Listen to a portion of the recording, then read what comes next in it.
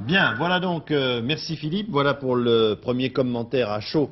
Euh, juste euh, quelques minutes après la fin de ce sommet de Paris, nous y reviendrons bien sûr en détail ce soir dans notre édition de 20h. Maintenant, je vous propose un petit retour en arrière, retour de quelques heures. Hier soir, très exactement, à l'heure du dîner, les sept chefs d'État et de gouvernement se trouvaient au Louvre. Visite, dégustation et ensuite on est passé à table sous la pyramide de verre. Pascal Guimine.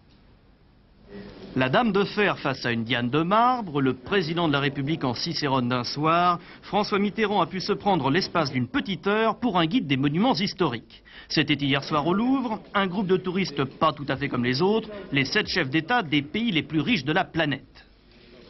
Un Dom Pérignon, 1959, tiré à même le tonneau, la salle des cariatides du Louvre n'avait sans doute jamais vu autant de bulles. Allez Margaret, un petit verre, a soufflé le président Bush au Premier ministre britannique. Madame Thatcher n'a pas fait la fière. Le couvert, lui, était dressé sous la petite pyramide. L'œil indiscret d'une caméra était là. Madame Thatcher a souri. Helmut Kohl a fait les yeux ronds. François Mitterrand, lui, dit-on, a froncé les sourcils.